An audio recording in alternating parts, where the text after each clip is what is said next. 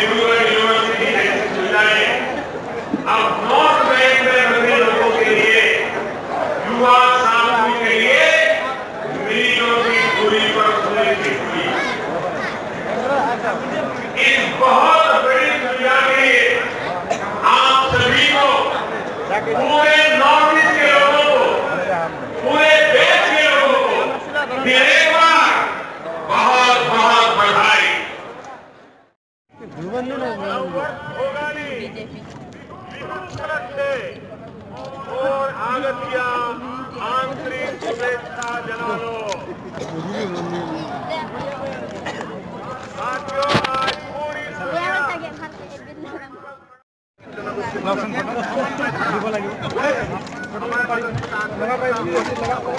यात यात बस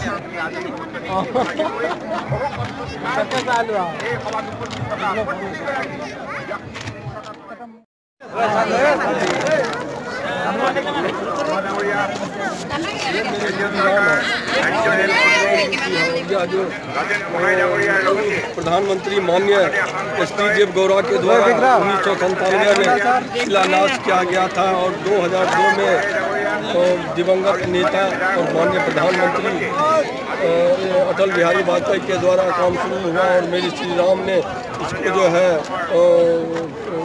लोकार्पण किए हैं। इसके लिए मैं श्री राम को धन्यवाद ज्ञापन करता हूँ। और यहाँ के जितने भी पब्लिक हैं और हमारे देश के जो बॉर्डर है, चीन का बॉर्डर वो बराबर जो है हमारे ऊपर कुछ न कुछ बोला करते थे। और यह जब फ्लाई ओवर हो गया, कि अब मेरे सैन्य जो शक्ति जो है, क्षमता, वो बढ़ गई है।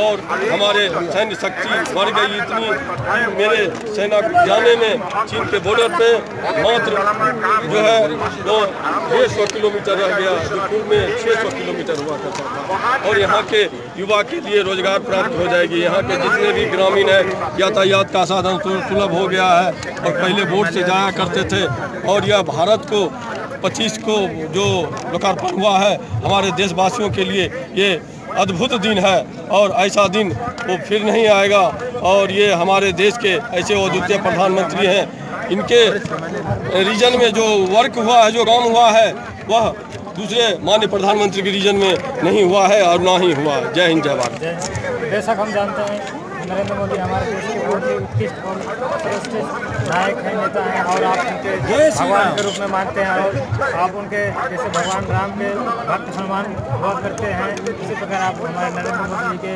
भक्त रूप में हनुमान जी के रूप में अपना देश जैसा अपना पोशाक लेकर और सर पर कमलों का आप उनके गुणों को बखान कर रहे हैं। बहुत बहुत धन्यवाद। आप हमारे असम आए और हमारे इतना सारा प्यार और आशीर्वाद दिए धन्यवाद।